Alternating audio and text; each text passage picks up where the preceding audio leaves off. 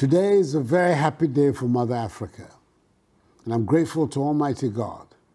for the opportunity to be a part of this landmark historic event, the commencement of trading of the African Continental Free Trade Area. In August last year, I handed over a state of the art office building to the African Union Commission to serve as the head office of the Secretariat of the AFCFTA. This constituted a very significant implementation milestone in the operationalization of the AFCFTA. Following the AU's extraordinary summit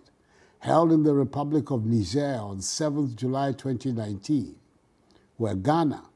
was honored by her peers with the privilege of hosting the Secretariat. For many of us, past and present, who have waited patiently for this day, this ceremony represents an important step towards realizing the goal of continental integration. The manifestation of that enduring dream of the founding fathers of our union to create an economically integrated and sustainable continent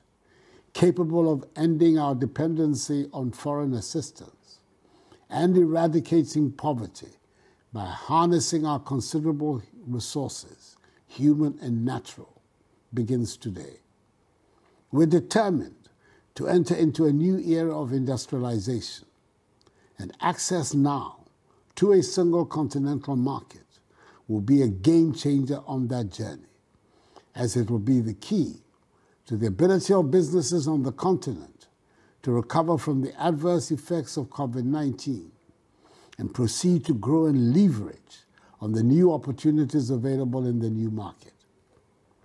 Trading amongst ourselves will be duty free and quota free and with a market of some 1.2 billion people and a combined GDP of some 3 trillion United States dollars,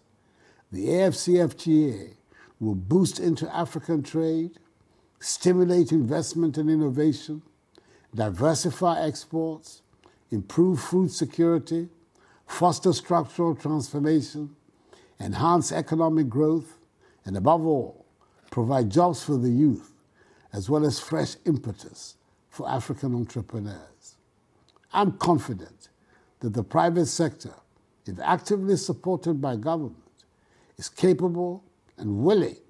to be at the vanguard of this transformation. For us in Ghana, we have embraced fully this partnership between government and the private sector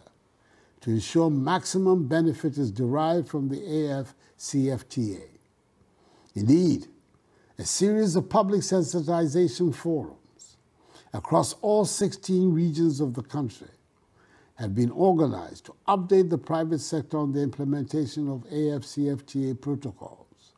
the operational requirements for effective trading in the market, and preparations for the start of trading.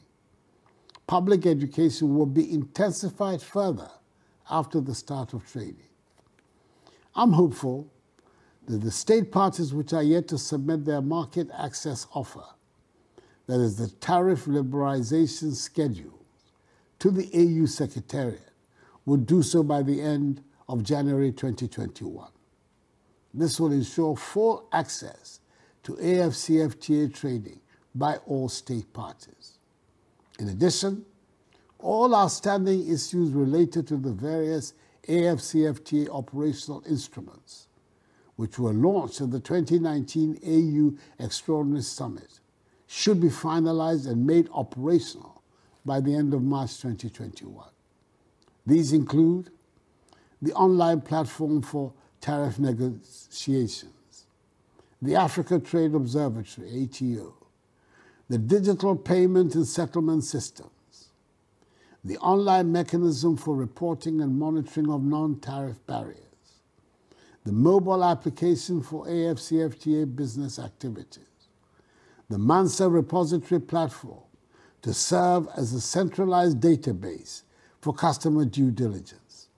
and the 1 billion United States dollar AFCFTA adjustment facility to manage the adverse effects of revenue losses for selected countries.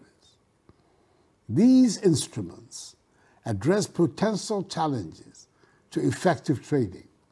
and are critical in easing business transactions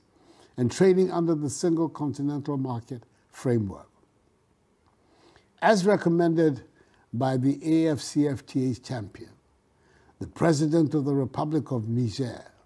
His Excellency Mahamadou Issoufou, there is the expectation that by the end of March 2021, the AFCFTA unit operating out of the AU Commission in Addis Ababa will be moved to Accra to ensure the consolidation of all AFCFTA related activities under the AFCFTA Secretariat. I commend highly our experts, ambassadors, and, and ministers of trade, the AFCFTA Secretariat, and the AU Commission for the quality of work accomplished thus far, which has enabled the implementation of the AFCFTA to proceed. We should not relent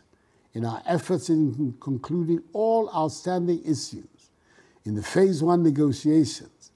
to guarantee full implementation of the AFCFTA protocols by June 2021. In particular, I want to thank the AFCFTA champion, President Mahamadou Issoufou of the Republic of Niger, President Alpha Conde of the Republic of Guinea,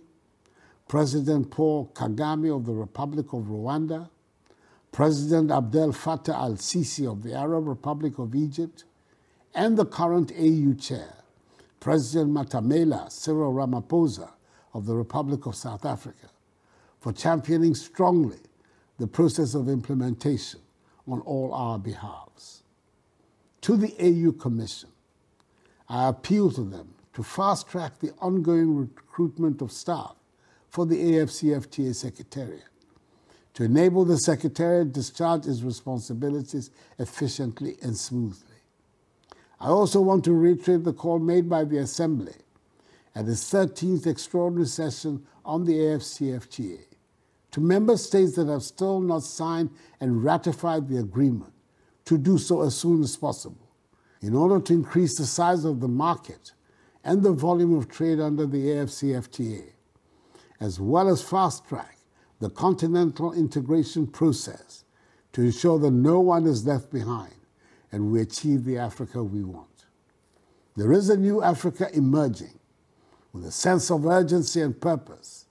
and an aspiration to become self reliant and move the continent to a situation of self sufficiency, progress, and prosperity. In this regard, I assure this gathering of Ghana's unwavering commitment and dedication to the agenda of continental integration. We must succeed together and do so resoundingly for the benefit of current and future generations. I wish you a very prosperous and productive new year, a new dawn of trading and investment across Africa for Africans has just begun. May God bless Mother Africa and us all. I thank you for your attention.